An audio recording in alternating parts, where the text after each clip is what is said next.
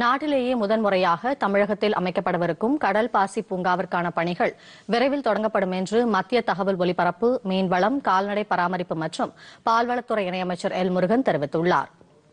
சென்னை துறைமுக பொறுப்பு கழகத்தில் மத்திய இணையமைச்சர் எல் முருகன் நேற்று ஆய்வு மேற்கொண்டார்.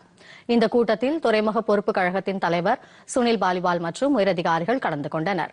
சென்னை காசிமேடு மீன்பிடி துறைமுகத்தை சர்வதேச தரத்திற்கு இணையாக மேம்படுத்துவது குறித்து இந்த ஆய்வுக் கூட்டத்தில் விரிவாக ஆலோசிக்கப்பட்டது. பின்னர் செய்தியாளர்களிடம் பேசிய மத்திய இணையமைச்சர் எல் முருகன் மத்திய அரசின் திட்டங்கள் மூலம் தமிழகத்தில் அமைக்கப்படும் மீன்பிடி துறைமுகங்கள் மற்றும் கடல் பாசி பூங்காவால் ஏராளமான வேலைவாய்ப்புகள் பெருகும் என்று தெரிவித்தார். காசிமேடு மீன்பிடி துறைமுகத்தை சர்வதேச தரத்திற்கு மேம்படுத்துவது குறித்து விரிவாக ஆய்வு மேற்கொள்ளப்பட்டுள்ளது என்றும் விரைவில் தொன்னூற்றி எட்டு கோடி ரூபாய் செலவில் இந்த பணிகள் தொடங்கும் என்றும் அவர் தெரிவித்தார். மீன்வளத்துறையில் இளைஞர்களுக்கு ஏராளமான வேலைவாய்ப்புகள் உருவாகும் என்றும் இதனை இளைஞர்கள் முழுமையாக பயன்படுத்திக் கொள்ள வேண்டும் என்றும் அவர் கேட்டுக் கொண்டார்.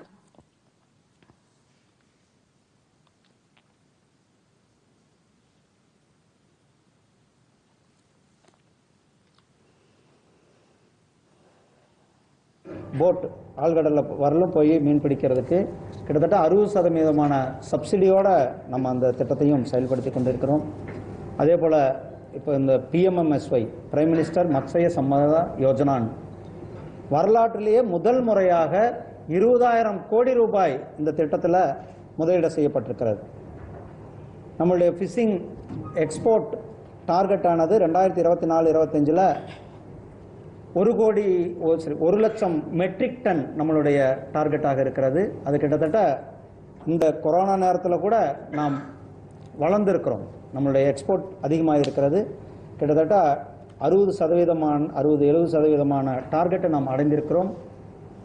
இப்போது இந்த ஃபிஷிங் செக்டாரில் இன்னும் நிறைய டெக்னாலஜி இம்ப்ரூவ் பண்ணி bioflocs cage culture fish ranching இப்படி பல திட்டங்களையும் நாம் நடைமுறைப்படுத்தி கொண்டிருக்கிறோம்.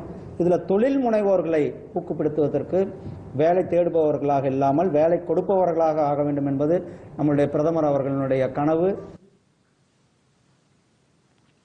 இலங்கை கடற்படையினரால் கைப்பற்றப்பட்ட தமிழக மீனவர்களின் படகுகளை மீட்க குழு அமைக்கப்பட்டிருப்பதாகவும் இதுகுறித்து உரிய நடவடிக்கைகள் மேற்கொள்ளப்படும் என்றும் மத்திய இணையமைச்சர் எல் முருகன் அப்போது குறிப்பிட்டார்.